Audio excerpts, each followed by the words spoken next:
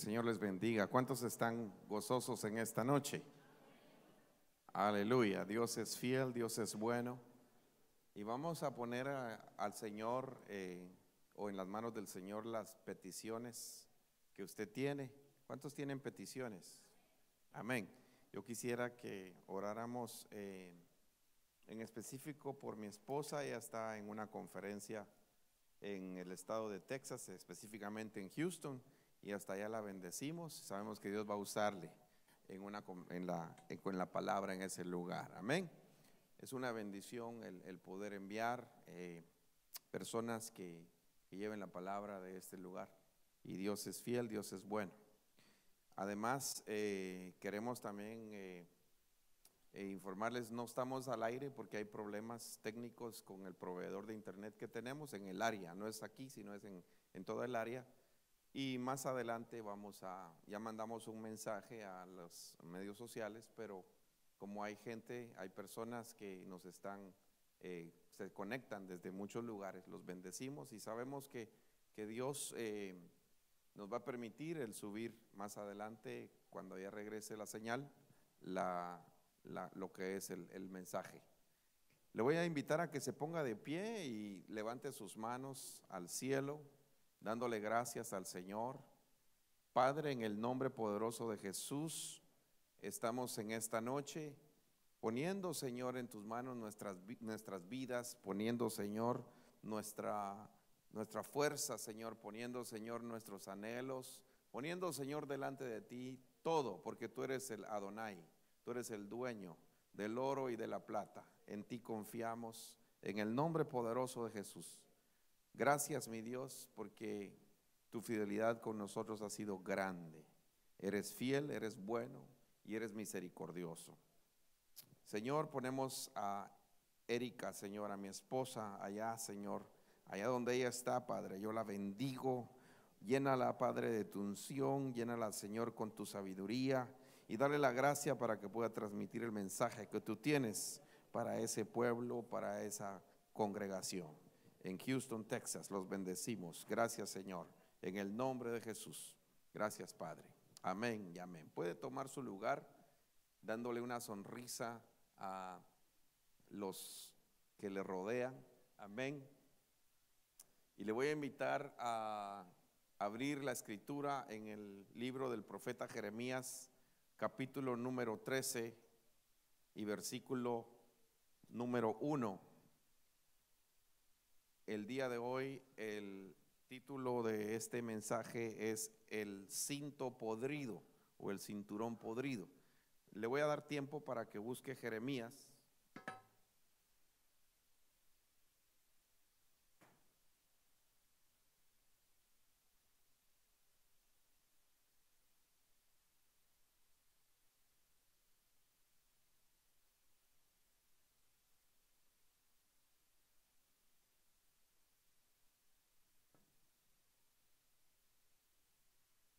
Cuando lo tenga puede decir amén.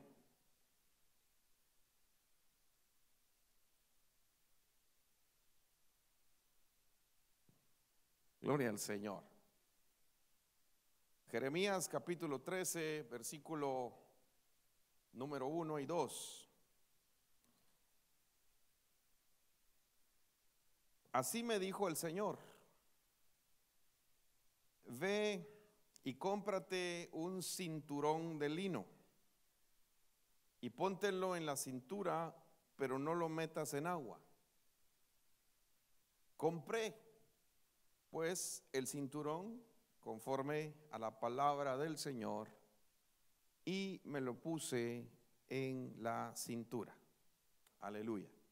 Hace muchos años eh, yo prediqué este mensaje y el Espíritu Santo eh, me lo recordaba hace unos días y, yo quisiera eh, hablar otra vez sobre, sobre eso que el Señor mostraba en mi vida. Estoy hablando hace muchos años, por lo menos unos 10 años.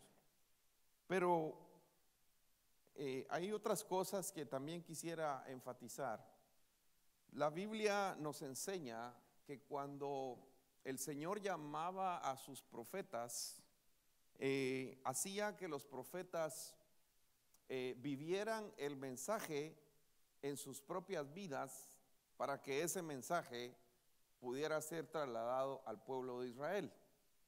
Por ejemplo, Dios llama a un profeta llamado Oseas y a ese profeta el Señor le da una ordenanza, le dice, Oseas, vas a, a ir a tomar a una mujer que es una mujer infiel, una mujer ramera, una mujer que se dedica a la prostitución.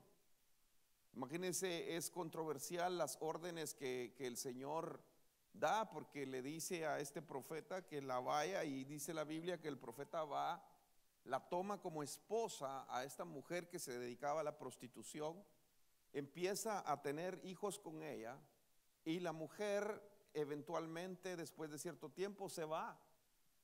Y el Señor le dice, ve y redímela, tómala de nuevo.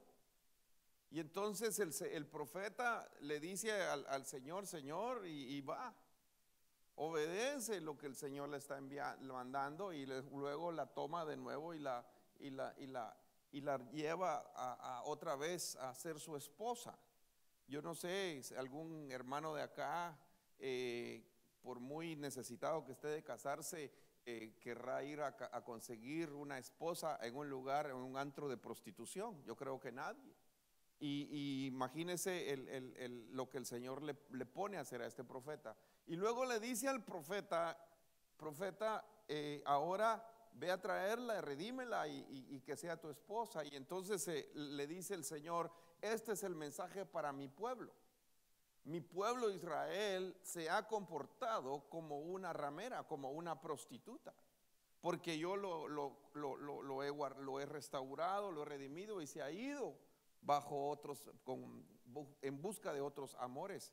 Y entonces el Señor hace que el profeta viva el mensaje. Es difícil, hermano, porque, eh, pero el mensaje vivido es el mensaje más efectivo. Y a este profeta llamado Jeremías, el Señor lo llama y le dice, Jeremías, te estoy dando una ordenanza. Vas a ir a un lugar, obviamente, a una tienda, a un comercio, no sé, en ese tiempo eh, no, no habían almacenes como los de ahora, pero sí había, el comercio siempre ha existido, el intercambio del comercio siempre ha existido desde tiempos remotos. Y entonces Dios le dice a este, a este profeta, cómprate un cinturón de lino, ve y lo compras. Y le dice que prenda de, de vestir y le dice el material y le dice que lo compre. Me quiero enfatizar en esas tres cosas. Número uno, ¿cómo lo consiguió? Número dos, qué tipo de, material se usaba. Y número tres, eh, qué prenda de vestir le dijo al profeta que se comprara. Imagínese Dios, hermano, manda shopping a, los profetas. Yo creo que alguna hermana aquí que siente el llamamiento profetiza, ¿verdad? De profecía. Bueno, pero imagínese, le llama el Señor a, a este hombre y le dice, ve y compra. Y entonces eh, le dice, compra, pero no lo metas en agua. Y entonces el profeta compra el cinturón, el cinto de lino, y, conforme a la palabra que el Señor le había dado. Ahora, hay que ver y, profundizar un poco, como le dije, sobre estas tres cosas antes de que usted, de que usted y yo lo, veamos que sigue más adelante. Número uno le dice, que compre. Número dos, le dice eh, el, el, material y luego le dice qué prenda de vestir. Entonces empiezo con qué prenda de vestir. El cinturón. Y cuando, cuando, cuando nosotros vemos la representación, porque le dice el Señor, ve, lo compras y, y además dice, te lo pones. Amén te lo pones en la cintura. El profeta pudo haber dicho, bueno, lo compro, pero no, lo, no me lo... A veces usted ha comprado cosas que no se pone. Como cuando usted, la hermana, el, domingo en la mañana eh, abre, abre el armario y dice, es que no tengo que ponerme. Y hay como 30 piezas de, vestir, ¿verdad? O no tengo zapatos. Y, uno ve que hay como 15 pares de zapatos. Mi suegra es campeona en zapatos tiene bastantes zapatos. Cuando mis, hijas mis, hijas o mi esposa necesita combinación de un zapato, ella es la, la, la, la, super heroína para poder ayudarles, ¿verdad?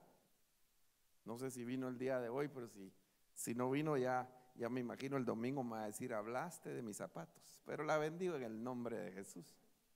Escuche esto. Entonces, hay cosas que uno que uno compra pero no se pone. Y Dios le dice al profeta, lo compras y te lo pones.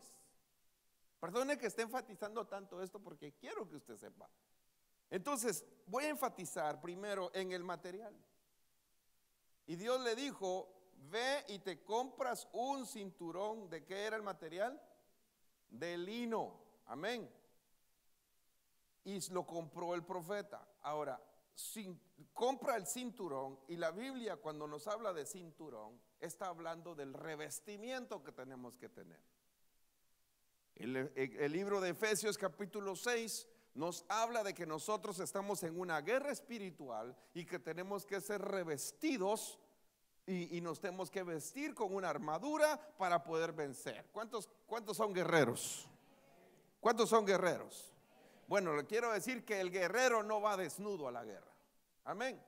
El guerrero no va, va preparado, el guerrero va eh, con el uniforme que se necesita para ir a pelear. Se necesita un uniforme para ir a pelear. Y dentro de ello, una parte del uniforme es el cinturón. Dice el Señor a través de Pablo, revestíos con toda armadura, con toda la armadura de Dios, para que podáis estar firmes contra las insidias del diablo. Y no me voy a... ¿Se recuerda usted las, las partes de la armadura del Señor? Sí. ¿Del guerrero? Sí. Bueno, usted se recuerda y, yo no se lo voy a desglosar, pero me, me voy a centrar y dice el 6.14 de Efesios, estad pues firmes. ¿Qué es estar firme, hermano? estar de pie, estar ubicado, estar eh, eh, realmente concentrado y definido. ¿Cuántos quieren estar firmes en Dios? ¿Cuántos quieren estar definidos en Dios? Amén. En este Evangelio hay que estar firmes en el Señor. Y dice, estad firmes, ceñida, quiere decir apretada, ceñida vuestra cintura, ¿con qué? Con la verdad, revestidos de la coraza de justicia. Pero si dice, estad pues firmes con el cinturón de la verdad. Hermano amado, es importante que en este Evangelio usted y yo seamos genuinos, seamos sinceros, que tengamos la verdad con nosotros. Aleluya, amén. No me dio tiempo de poner la cita, pero quiero que busque usted la cita en Proverbios 23, 23. Y si alguien la tiene, la puede, la puede eh, leer fuerte. Yo la voy a repetir aquí por causa de la transmisión. Pero si alguien encuentra Proverbios 23, 23.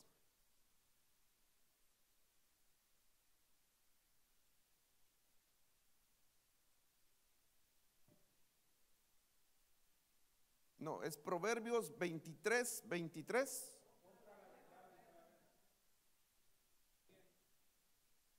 Y ahí se lo tengo, yo, no había visto que se aprovechaba esto. Bueno, dice, compra qué? La verdad y no la vendas. Adquiere sabiduría, instrucción e inteligencia. Hermano amado, hay cosas que tenemos que tenemos que comprar, pero que no tenemos que vender. Aleluya. A ti te compraron con precio de sangre. Por eso no te vendas. Tu llamamiento para servirle al Señor costó la sangre del cordero. No te puedes vender a cualquiera. Aleluya. tu comunión con Dios costó la sangre preciosa del cordero. Fuiste comprado, dice la Biblia, comprados fuisteis con bello precio, precio de la gloriosa sangre. Por eso no podemos vendernos. Y si tienes la verdad, amado hermano y amada hermana, no la vendas. Si tú ya sabes la verdad, no la vendas. No vendas tu comunión con Dios. Joven, no vendas y, jovencita, no vendas tu cuerpo. Y no te estoy hablando de, de, comercializar haciendo prostitución con ellos, sino no te vendas por palabras baratas. No te vendas por, por la necesidad de, las, de, la, de, los problemas de soledad. No, te, no hay que venderse por eso. No vendas tu virginidad. Aleluya. No vendas lo que, lo que, lo que sirves. No vendas el pacto matrimonial que tienes. No vendas el pacto de padre con tus hijos, ni tus hijos contigo. ¿Estamos de acuerdo en ello? Pidámosle al Señor, hermanos amados, que seamos celosos porque ya, ya fuimos comprados. Entonces tenemos que tener cuidado de no vender lo que Dios ya nos dio. No vendas tu integridad. Aleluya. Amén. Aleluya. Gloria al Señor. Mire, mire, mire, dice la Biblia que este hombre le dijeron, ponte este cinturón y ponte la verdad.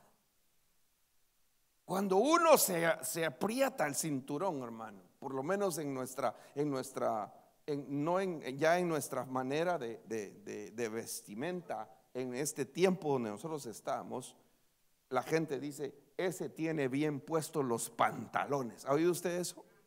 ¿A usted se ha dicho? Sí. ¿Qué quiere decir? Que esa persona es una persona veraz. Es una persona que defiende. Bien puestos los pantalones, ¿verdad? Es una persona que, que, tiene, eh, dice las, las cosas como se tienen que decir. Aleluya, amén es una persona que te dice las cosas en la cara y no te las dice detrás. No es una persona de, eh, con hipocresía, sino es una persona directa. Y que te dice las cosas y que, te, y que te va a decir, un amigo hermano, un amigo te va a decir las cosas. Aunque muchas veces esas cosas te vayan a doler, pero te va a decir las cosas. Un buen padre te va a decir la verdad. Si estás mal como hijo, te va a decir la verdad. Yo quiero tener la confianza como pastor, como un padre espiritual, para que si yo veo algo que te está afectando, tener la confianza de llegar contigo y decirte, mira, eso no está bien. Amén. Yo voy a exponer la palabra, yo voy a exponer la palabra, pero tengo que decirte cuando yo vea cosas que no están correctas, decirte, mira, esto no te conviene. Eso no está, no, no, es, no es correcto. Imagínense que venga un joven conmigo y me dice, eh, pastor, como aquí en la iglesia no hay, no hay chicas, entonces voy a, tuve que ir a buscar una, una filistea. Y está bonita, pastor, viera qué linda que está. Pues yo, yo le voy a tener que decir, mira, eso no está bien. Yo le voy a tener que decir, no está correcto lo que estás haciendo. Estás tomando un gran riesgo. Te estás consiguiendo de suegro al diablo. Sí. Así le decían a mi esposa, miren, miren chicas, miren, aquí lo, tengo que traducir, ¿verdad? Porque decía, una señora decía, miren patojas, patojas en nuestro país es mujeres, es, chicas, ¿verdad? Cipotas, para usted o lo que, lo que usted... Miren, miren, si ustedes quieren que su suero sea el diablo, consíganse uno de afuera. Y, viene un, joven conmigo, yo le, voy a, yo le voy a tener que decir la verdad. Yo me voy a tener que ceñir los, los, el cinto de la verdad y decirle que eso no está correcto. Como tú, como papá, a tus hijos le tienes que decir las cosas porque te van a demandar lo que no le digas a tus hijos. Aleluya, amén. La Biblia dice que los hijos que no son corregidos los pone alegóricamente a bastardos. Así dice la Biblia en Hebreos. Si no somos corregidos, si no tenemos disciplina, dice la palabra que el, Señor a quien ama, Él disciplina.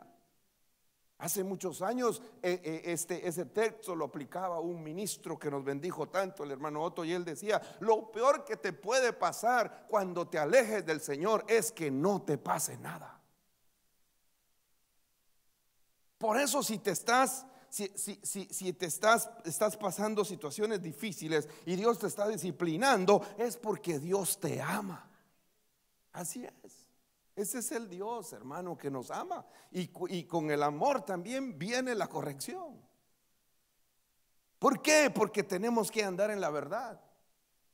Y viene y dice este texto, vuestra, vuestra verdad siempre, sean portadores de la verdad.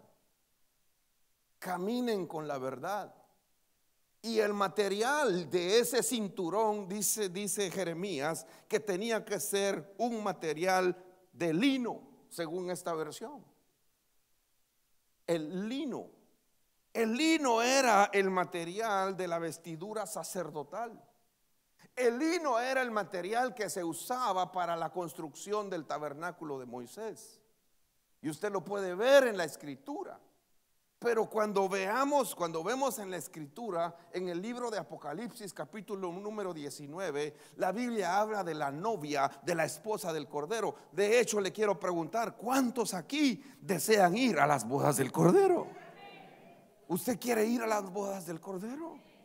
¿Usted se está preparando para esa boda? ¿Usted ama la venida del Señor? Yo creo que si usted es un cristiano, no cristianoide, sino un cristiano ferviente que ama al Señor, usted se quiere consagrar porque usted por amor sabe que el amado viene. Usted sabe que el que ha de venir vendrá y no tardará. Y en esta iglesia nos han llamado a proclamar su palabra, pero proclamar su venida. Aleluya. Hay, púlpitos que están poniendo que la gente se enamore de las cosas, de los dones, de los carismas, de las cosas terrenales, de la prosperidad económica. Yo no quiero, hermano, que tú te enamores de eso. Yo quiero que tú te enamores del que verdaderamente vale la pena enamorarse, de aquel que ama tu alma, del Cristo que se dio por ti. Busca su reino, busca su reinado en tu corazón el reino de Él, que Él reine, que Él sea tu rey, que Él sea tu autoridad, que eres que sea su nombre. Mire, yo, yo estoy de acuerdo, tenemos que ser hombres de reino, porque Él reina sobre nosotros. Él reina en mi corazón, Él reina en mi matrimonio, Él reina en mis hijos, en mis hijas. El rey, Él debe ser el rey de mi familia, Él debe ser el rey de la iglesia donde estamos. Aleluya porque Él es el rey. ¿Cuántos le dan gloria al rey de reyes? Dígale, Señor, gracias, tú eres el rey. Y por no darle la autoridad a Él, nos metemos en problemas por no darle a Él el lugar y la, preeminencia y por no darle a Él que Él tome la, decisión y, y, no sujetarnos a lo que Él quiere, nos ponemos en problemas y nuestros hijos se ponen en problemas y nuestra familia se pone en problemas. ¿Cuántos han tenido problemas alguna vez por desobedecer a Dios? Yo soy uno de ellos. Aquí no habemos perfectos. Alguien ponía hoy, creo que una hermana en Cristo ponía, usted venía, hermana Ceci, ¿verdad? En la iglesia no somos perfectos, sino somos imperfectos que tenemos un Dios perfecto y que nos está perfeccionando. Así dice la Biblia. Esto imperfecto se vestirá de perfección. Estamos para ello, venimos, venimos a la palabra, pero queremos vestirnos para esa boda. Y entonces en la, declaración de las bodas dice Apocalipsis, regocijémonos y alegrémonos. ¿Cuántos se alegran cuando dicen Cristo viene? Pero nos estamos preparando para esa venida. Esa es la pregunta. Estamos cambiando nuestra mente. Está cambiando nuestro corazón para esa venida. A veces sabemos mucha escatología y señales, pero ¿será que nuestro corazón está preparado para el encuentro con el amado? Esa es la pregunta. Ahora dice, regocijémonos, alegrémonos, démosle a Él la gloria, porque las bodas del Cordero han llegado y su esposa se ha que preparado. Soy un ministro que Dios me ha mandado a la preparación de la esposa. Prepararse, prepararse con los gustos del amado. Y dice, y a ella le fue concedido vestirse. Y mire el material. ¿Qué material dice? Lino fino, resplandeciente y limpio. Ahí donde se compra eso, Macy's, JC Penney, eh, eh, Kmart, eh, el, el, almacén, ¿verdad? Ross o todo, no sé dónde va usted, ¿verdad? Marshall, sí, ¿dónde va usted? No, el lino fino no se compra en la tierra. El lino fino se compra con la comunión con Dios. Aleluya. Con la integridad con Dios, con la obediencia a Dios. Ese es el lino que se compra. A ella le fue concedido vestirse de lino fino, resplandeciente y limpio, porque las acciones justas de los santos son el lino fino, dice la Biblia. Entonces, si mi accionar es justicia, me estoy vistiendo de lino fino. Aleluya. Si amo la justicia, me estoy vistiendo de lino fino. Aleluya. Si amo la justicia de Dios, estoy vistiéndome del lino fino. Eso es lo que dice la palabra. Las acciones que yo tenga. No puede haber una novia pasiva, tiene que haber una novia que ama. Aleluya. Que está esperando con ansiedad, con ansias, perdón, la venida del amado. Cuando, cuando está la, la novia, la enamorada, esperando la llamada. ¿Se acuerda usted cuando no habían teléfonos celulares? Y solo había un teléfono en la casa.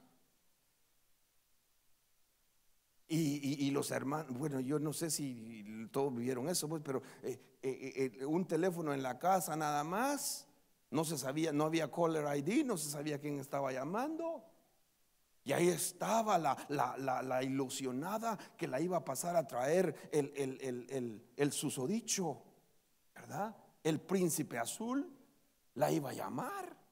Y ahí estaba esperando y sonaba la, el, teléfono y arrebatada como que iba la carrera de los 100 metros planos en las carreras olímpicas. Y antes de que la tomara otro, la agarraba ella. Es para mí. ¿Por qué? Porque estaba enamorada. Llegaba el, el el cartero y esperando. Y cuando llegaba el cartero, la primera que llegaba a recoger el correo, va a ver si Mire, hasta más fácil están ahora las cosas con la tecnología. Antes, ahí escribiendo, perfumando. Ahora, ahora.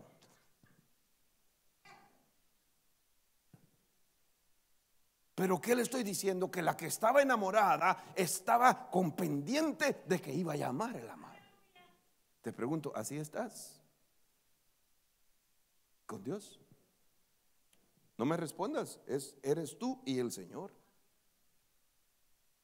Pero sí, dice la Biblia al profeta, que el profeta se vistiera.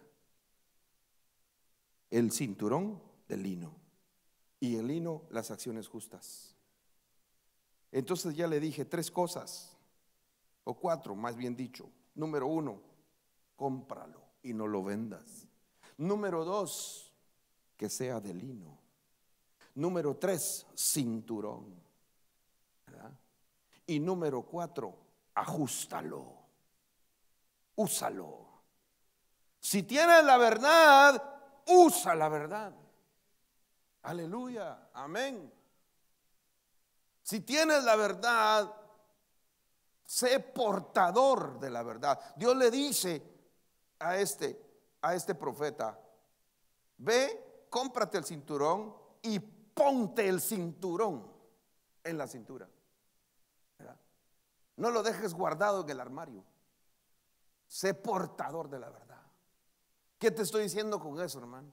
Que cuando vayas en la calle y la, la, gente te diga, ¿eres tú cristiano? Tú le vas a decir con la verdad, amén, por la gracia de Dios. Ayer vi una película. Se vale hacer propaganda, ¿verdad? Y se la recomiendo, me gustó mucho. Se llama Dios no está muerto, número dos. God's not death. ¿Cuántos ya la vieron? Tres, cuatro manos. Está buenísima. 19.99 vale el DVD. Cómprelo. No lo, no lo piratee. Cómprelo, porque son nuestros hermanos en Cristo que están mandando un mensaje. Preciosa. Pero esa es eh, una mujer que la llevan a juicio para que ella negara su fe. Y su fe, bueno, no se la voy a contar, usted la va a ver. Pero es muy bonita. Es, es algo, ahí sí le digo, vaya, mire la película. Es un mensaje precioso. Pero lo que te digo es que esta mujer de esta era portadora de su verdad. Te pregunto a ti, ¿eres portador de la verdad? Y no con lo que hablas, sino con lo que haces con lo que piensas, con la forma como te conduces. Esa es la pregunta. Y entonces viene el Señor y después le dice al profeta, ok profeta, ahora toma el cinturón que has comprado, que llevas en la cintura, y levántate. Y vete, ¿a dónde le dice? Al Éufrates. Y escóndelo en ese lugar, en una hendidura de la peña, y fui entonces y lo escondí junto al Éufrates, como el Señor me había mandado, dice el profeta. Yo le voy a hacer una pregunta. ¿Usted se recuerda de los ríos de Babilonia? Uno era el Tigris y el otro el Éufrates. Aleluya. Es que no le dijo, vete al Jordán, ni le dijo, vete al Nilo, sino que le dijo el Señor, ve y lo vas a ir a poner al río Éufrates. Y entonces lo que el Señor me mostraba hace muchos años cuando daba este mensaje, era que el, el el profeta le había dicho al Señor, ve y lo vas a ir a poner al Éufrates, entre paréntesis, Babilonia. Vas a babilonizar tu cinturón y tu verdad y tu lino. Eso es lo que le dice el Señor.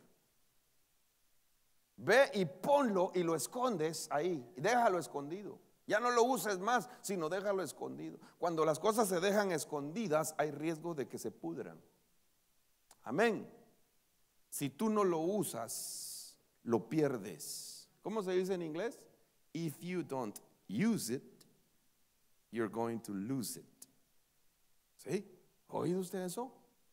Amén.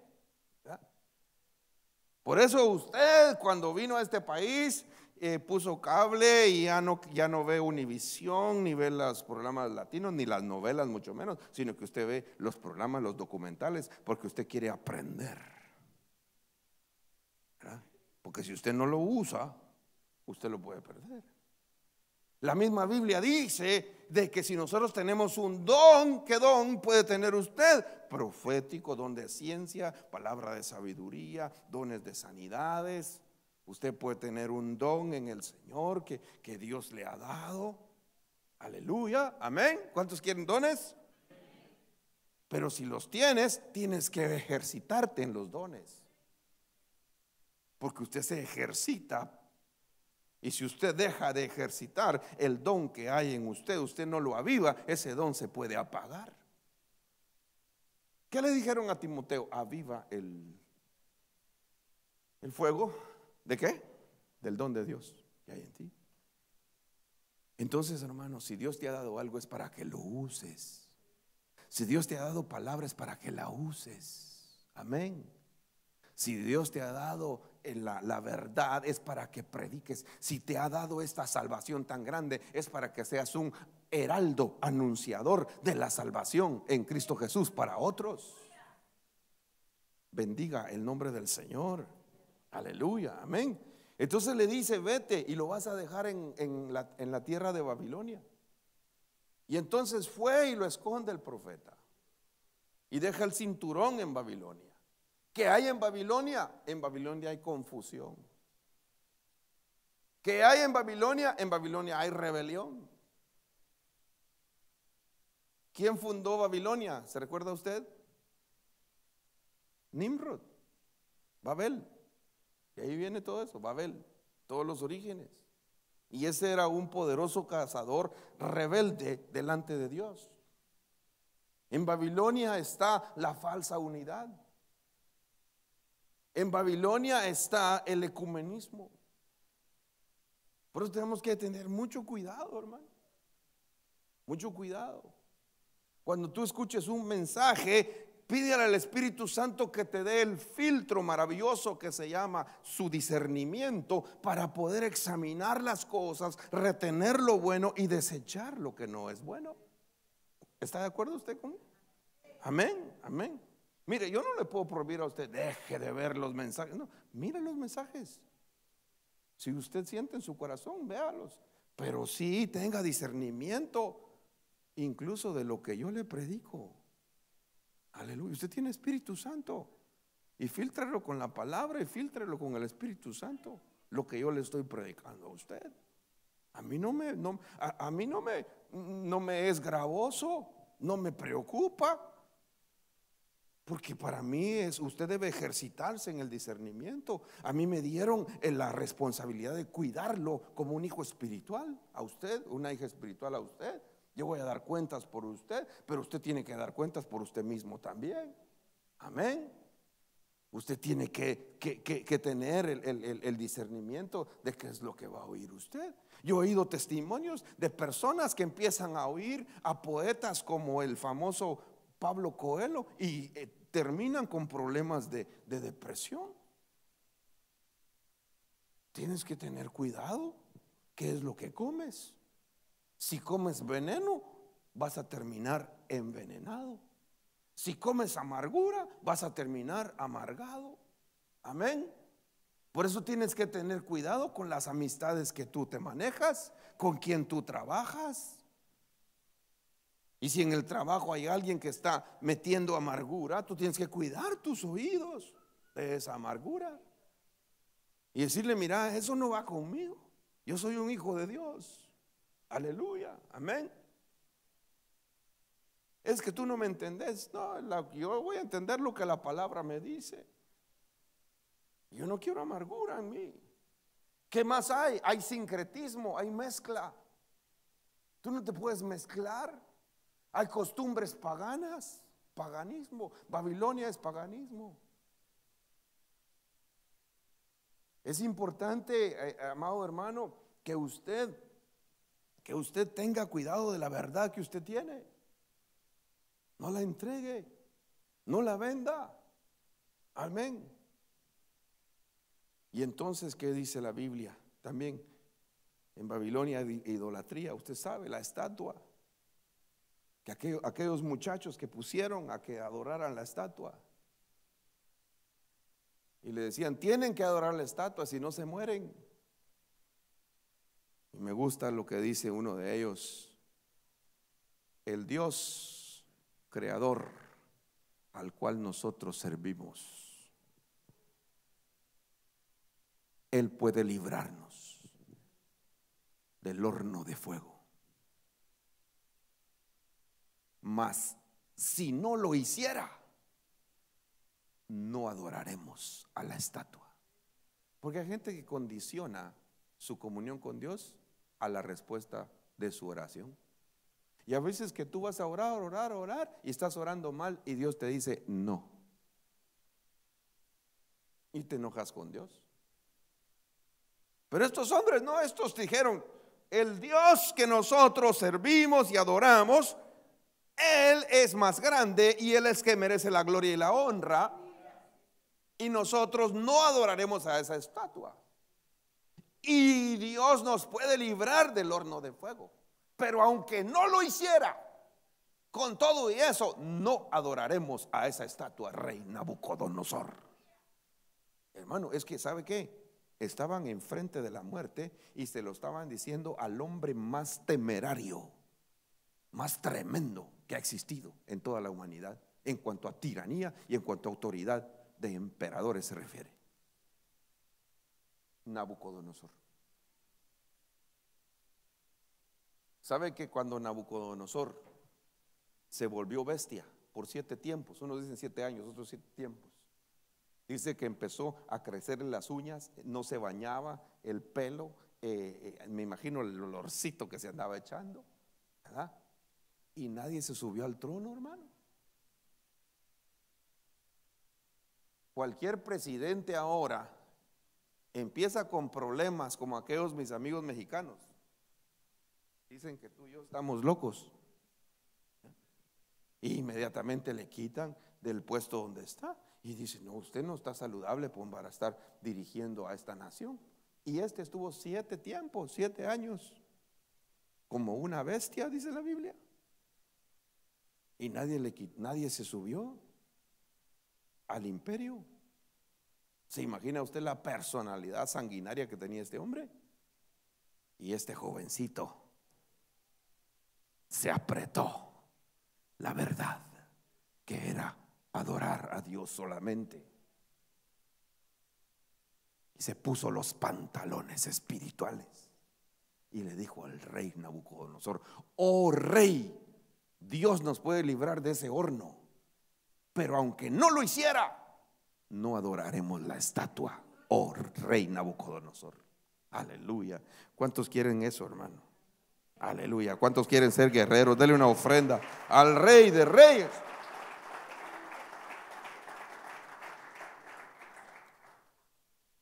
Y entonces el Señor, después de cierto tiempo, le dice al profeta, sucedió que después de muchos días Dios, el Señor me dijo, levántate y vete al Éufrates y toma el cinturón que te mandé que escondieras allá. Mire qué pasa con las cosas que se babilonizan, hermano. Fui pues al Éufrates, a Babilonia. Cabé, tomé el cinturón del lugar donde lo habían escondido. Y he aquí, el cinturón estaba qué? Estaba podrido. No servía qué? Para nada. Este, este mensaje es tremendo, hermano, muy duro. Tú no puedes dejar la verdad abandonada en Babilonia. Las cosas que te han dado, que uses. Porque después de cierto tiempo la vas a encontrar en un estado de putrefacción y ya no va a servir. Voz de alerta palabra profética. Y viene el Señor y le dice a Jeremías, así dice el Señor Jeremías, de la misma manera haré que se pudra la soberbia de Judá y la gran soberbia de Jerusalén. Este pueblo malvado que rehúsa escuchar mis palabras, que anda en la terquedad de su corazón y se ha ido tras otros dioses a servirles y a postrarse ante ellos, ha de ser como este cinturón que no sirve para nada. Entonces la, la pregunta aquí, dejar tu verdad, dejar tu cinturón en el Éufrates, en Babilonia, equivale a, número uno, rehusar escuchar las palabras del Señor. ¿Cuántos quieren la palabra de? ¿Cuántos quieren escuchar la palabra de Dios? Número dos, andar en el corazón del Señor, sujetos al corazón del Señor y no a nuestro propio corazón, emociones o entendimiento. Aleluya. ¿Usted quiere hacer un pacto con el Señor hoy? De verdad, mire, en el nombre poderoso de Jesús se lo estoy exponiendo a la luz de la escritura. Tu verdad no se va a podrir si amas la palabra de tu Dios. Si andas no a tu propia terquedad de corazón y mi propia terquedad de corazón, sino que andamos alineados al corazón del Señor. Aleluya. Y, y, se ha ido tras otros dioses a servirles. No, hermanos, no busquemos otros dioses, busquemos al Dios maravilloso. Tu Dios puede ser tu trabajo, tu otro Dios puede ser tu, un, amor que te falló, tu Dios puede ser eh, incluso hasta ministerio, puede ser tu Dios, más que el Dios del ministerio. Tu Dios puede ser un hobby que tengas, tu Dios puede ser lo que ocupa, incluso tu esposa o tu esposo puede ser tu Dios, tu ídolo.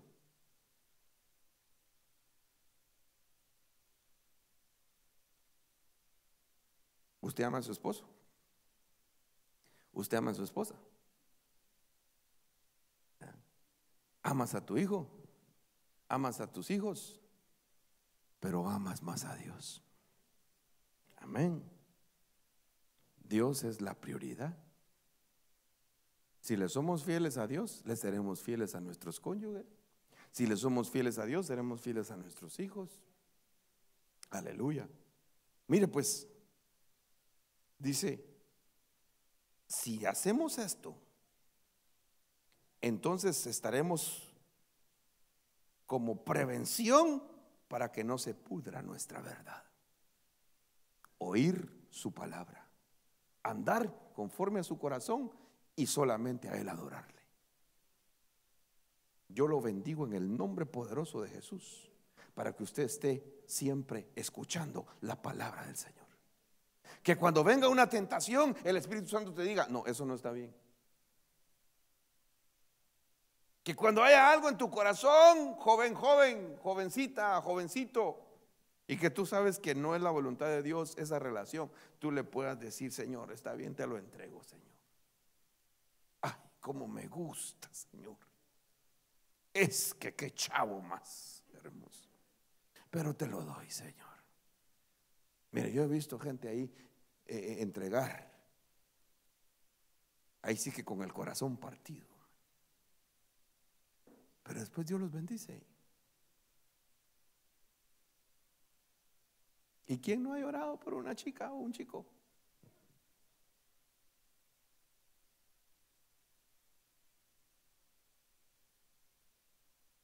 ¿Alguna vez lloraste por un chavo?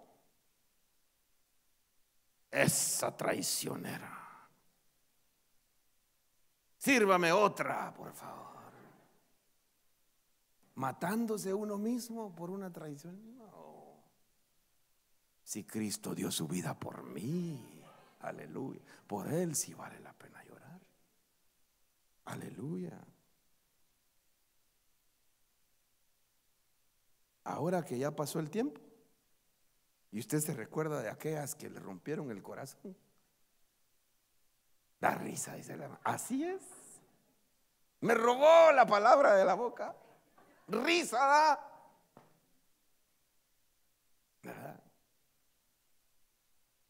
Si usted supiera y si yo le contara, pero no le voy a contar. Porque ahora amo al que ama mi alma. Aleluya. Bendito sea su nombre. Y amo a mi esposa, mi amada esposa, Erika. Pero antes de si vieron un par, dos que tres ahí que, gracias a Dios Dios tenía un plan para servirle. Yo digo, si yo me hubiera quedado con esto, mm, ni siquiera diácono hubiera llegado. Ni siquiera al, al, primer privilegio que tuve, que fue de cuidar las, las cámaras. Y ahora el Señor me ha dado la bendición de predicar su palabra. Porque dice el Señor, como el cinturón se pega a la cintura del hombre, así quise estar pegado con la casa de Israel y la casa de Judá. a fin de que fueran para mí por pueblo, por renombre, por alabanza y por gloria, pero no escucharon. Yo en el nombre poderoso de Jesús, hermano, por el poder que el Señor me ha dado, por su gracia y su misericordia, te ato a la verdad de la vida, de la Biblia, al corazón de Dios y a la adoración solamente a Él y a ningún ídolo en el nombre de Jesús. Y que tú lo tomes. Por eso dice la palabra, ceñíos con el cinturón de la verdad. Y el que tiene la verdad, hermano. Y el que camina en la verdad. Ah, glorioso. Termino ya con esto. Dice el apóstol Juan, me alegré mucho cuando algunos hermanos vieron y dieron testimonio de tu verdad. Se apegó tanto la verdad de Dios que ya es tuya la verdad. Y dieron testimonio de tu verdad. Esto es de cómo andas en la verdad. Te conduces en la verdad. Caminas en la verdad. Y la verdad se vuelve tu verdad. Aleluya. Por eso a mí me gusta decir, mi Dios, mi Cristo. Aleluya. Él es el Salvador del mundo. Amén pero es mi Salvador. Me salvó. Ama mi alma. Aleluya. Y entonces dice el apóstol, no tengo mayor gozo que este, oír que mis hijos andan en la verdad. Yo lo bendigo para que usted sea alguien que ande en la verdad. En el nombre poderoso de Jesús. Cierre sus ojos y me ayuda ya. Termino con este texto, siervos amados. La conclusión, cuando todo se ha oído, es esta. Teme a Dios, guarda sus mandamientos, porque esto concierne a toda persona. Porque Dios traerá toda obra a juicio junto con todo lo oculto, sea bueno o sea malo. Te bendigo con el cinturón de la verdad. Que tu evangelio sea genuino, hermano. Que nuestro ministerio, nuestro evangelio, nuestro servicio sea genuino ante los ojos del Señor. En el nombre poderoso de Jesús. Y si hubiera alguna alguna situación, algo que no estamos manejando correctamente, el Señor nos diga, no está bien y que tengan los oídos para escuchar su palabra y decir, Señor, yo, así es, Señor, yo recapacito, Padre.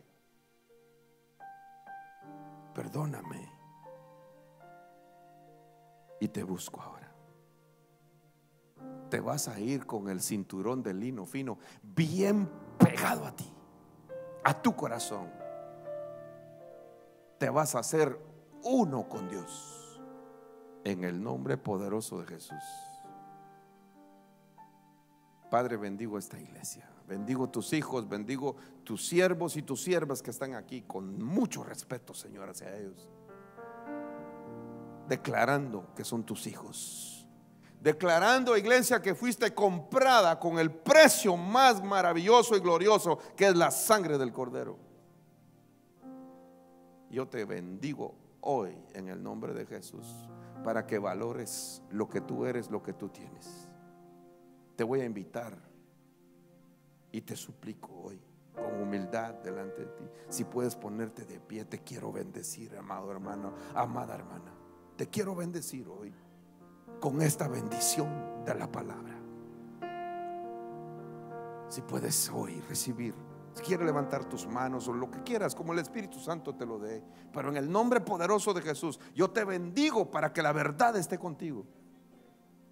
Te bendigo para que anheles escuchar su palabra siempre. Te bendigo para que no te separes de su corazón. No te reveles a su corazón. Y te bendigo en el nombre poderoso de Jesús para que seas un adorador que no se va a ir a postrar por otras cosas y no se va a distraer por otras cosas, sino que va a tener la mirada fija en el autor y consumador de su fe, que es en Cristo Jesús, Señor nuestro. En el nombre poderoso de Jesús. Te compraron con precio de sangre. No eres cualquier cosa. Te compraron con esa sangre preciosa. Por eso nadie te puede menospreciar. Si eres un hijo de Dios, una hija de Dios.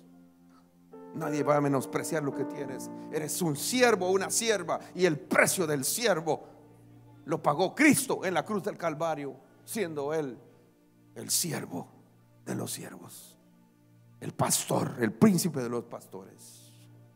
Te bendigo en el nombre de Jesús. No te apartas. Te vas a vestir con el lino fino. Lino fino y se va, se va a hacer revestimiento de verdad delante de cualquier ataque del enemigo. Y tú vas a decir la verdad de la palabra del Señor, donde quiera que estés. En el nombre poderoso de Jesús. Bello Señor, bello es tu nombre. Bendigo las familias, bendigo a nuestros jóvenes, bendigo a nuestros hijos Bendigo, Señor, esta congregación. Bendigo los servidores de esta casa. Bendigo, Señor, a cada uno de tus hijos y los pongo en tus manos. Bendigo los matrimonios en el nombre poderoso de Jesús. Gracias, mi Cristo. Gracias, Señor. Ahora solo levanta un, una adoración al Rey. Dile, Señor, te amo. Señor, gracias.